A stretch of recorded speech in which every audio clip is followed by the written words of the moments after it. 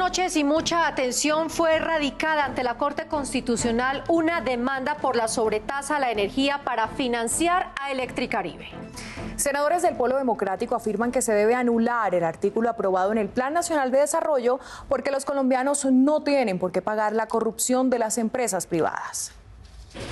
A través de una demanda ante la Corte Constitucional buscan tumbar el cobro que hoy se viene realizando a los estratos 4, 5 y 6 en el servicio de energía, luego de la aprobación del artículo 313 del Plan Nacional de Desarrollo que estableció el pago de 4 pesos por kilovatio en consumo en el servicio de energía para financiar a Electricaribe.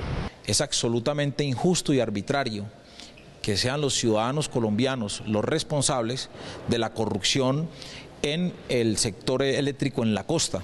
Electricaribe se llevó del país más de 4 billones de pesos. Para los senadores demandantes es ilógico e incoherente que todos los colombianos tengan que pagar por la negligencia e ineficacia de Electricaribe. No pueden entonces cargarle esa irresponsabilidad, esa corrupción a todos los colombianos cuando esto fue un problema absolutamente del Estado colombiano que consintió, que permitió y que fue absolutamente incompetente a la hora de exigirle a Electricaribe el cumplimiento de sus obligaciones contractuales en una concesión que duró más de 15 años en su poder.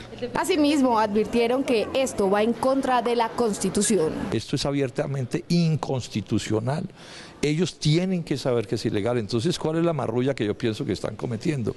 Que es, se pone en vigencia, se empieza a cobrar y mientras se cae en la corte, van cobrando y les, nos van sacando a los colombianos esa plata que es muy grande del bolsillo. Senadores esperan que la demanda avance de forma positiva por el bienestar de la clase media del país.